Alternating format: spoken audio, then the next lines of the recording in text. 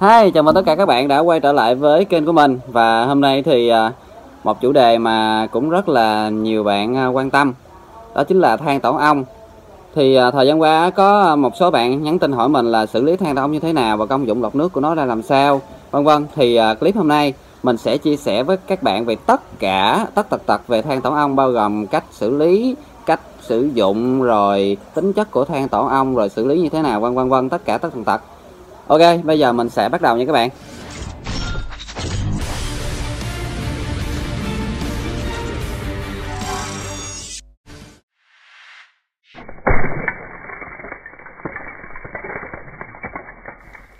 Rồi, về công dụng của than thì đây là loại vật liệu lọc giúp cho hồ cá của các bạn trong và có thể nói là trong vắt luôn.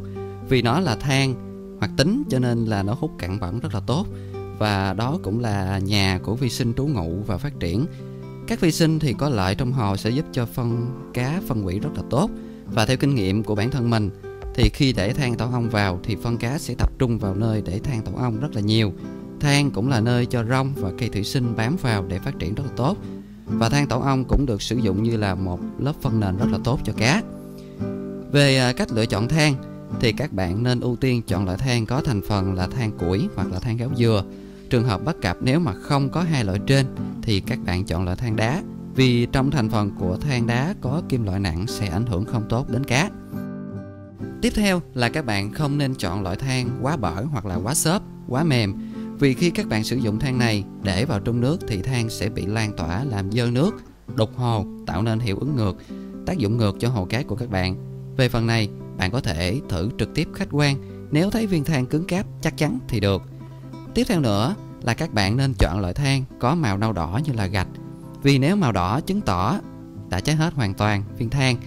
Có hai trường hợp nhỏ nữa mà các bạn cần lưu ý. Một là viên than có màu đen ở trong, nhưng đen xám thì đen xám này là do cháy hết và đã cháy hoàn toàn, cho nên các bạn cứ yên tâm mà sử dụng. Hai là loại than cũng màu đen, nhưng màu đen này là do viên than chưa được cháy hết. Loại này thì không nên sử dụng cho hồ cá nha các bạn. Rồi, các bạn nên chọn và sử dụng các viên than đã được sử dụng ở các quán ăn. Vì thời dụng biểu của chúng có lịch trình ổn định hơn, đồng nhất và đồng đều hơn chất lượng sẽ ổn định khi các bạn sử dụng cho hồ cá. Rồi, về cách xử lý trước khi sử dụng cho hồ cá, các bạn cần phải xử lý khô sơ bộ bằng cách quét sơ qua hoặc là thổi trực tiếp vào. Hoặc có điều kiện thì các bạn dùng máy để thổi bụi bẩn bám vào bên trong và cũng như là bên ngoài. Đồng thời, các bạn xem có vật gì lạ bên trong viên than thì lấy ra khỏi nhé các bạn. Nếu các bạn thổi thì các bạn thổi cho cẩn thận và nhớ coi chừng coi chừng bụi than nó bay ngược vào trong mũi của các bạn nha. Và công đoạn quan trọng hơn, cuối cùng và cũng là duy nhất, là các bạn đem viên than đi ngâm vào trong nước.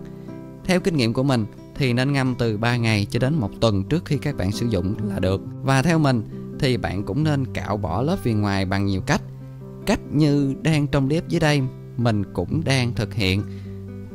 Lý do là vì ngoài thường bở và bùng, cho nên khi sử dụng thì khi các bạn đụng chạm vào thì nó sẽ làm dơ nước và các bạn nhớ ngâm lâu và rửa sạch lại thôi là được nhé. Về cách sử dụng, các bạn có thể sử dụng bằng nhiều cách như là để nguyên viên than vào trong hồ sau khi đã xử lý. Tùy cách sắp xếp của các bạn, theo thẩm mỹ của các bạn mà để sao cho đẹp để không bị mất diện tích của hồ hoặc có thể bẻ nhỏ ra vào hồ. Hoặc các bạn có thể sắp xếp theo ý thích của các bạn, hoặc các bạn có thể bẻ nhỏ ra rồi sử dụng như là phân nền cũng được. Nói chung là tùy các bạn sử dụng theo cách của các bạn thì được thôi. Miễn sao các bạn xử lý xong thì các bạn để vào trong hồ là được. Các bạn có thể sử dụng trực tiếp vào trong hồ nước với công dụng là vật liệu lọc trong hồ, hoặc các bạn có thể để trong hộp lọc của các bạn với vai trò là vật liệu lọc như những vật liệu khác trong bột lọc của các bạn. Về thời gian sử dụng của viên than hay nói nôm na là hết đát. Vấn đề này thì có rất là nhiều vấn đề để mình chia sẻ với các bạn. Thời gian thì các bạn cảm thấy lâu thì các bạn có thể thay viên mới. Thời gian thì từ vài tháng cho đến một năm thì thay. Tuy nhiên, không nên để quá lâu một năm. Sau một thời gian sử dụng thì than sẽ bị rong rêu, bẩn hoặc là phân cá quá nhiều sẽ bám vào. Các bạn có thể lấy ra để vệ sinh, rửa sạch rồi tiếp tục sử dụng. Lưu ý là nếu cá bị bệnh thì các bạn lấy than ra và thay nước sau đó thay luôn viên than mới, vì có thể mầm bệnh trong than sẽ ảnh hưởng đến cá, cho nên là sẽ có trường hợp cá bị bệnh mà trị hoài không hết đó các bạn rồi, Trên đây thì mình đã cố gắng chia sẻ với các bạn tất cả những gì mình biết về viên than tổ ong. Mong là các bạn sẽ có cách sử dụng tốt nhất cho mình cũng như là cho những chú cá của các bạn nha. Chúc các bạn vui vẻ và thành công với những viên than tổ ong. Và cũng đừng quên like, share cũng như là subscribe đăng ký kênh của mình để ủng hộ mình cũng như là để theo dõi những video mới nhất nha. Xin chào và cảm ơn các bạn rất là nhiều.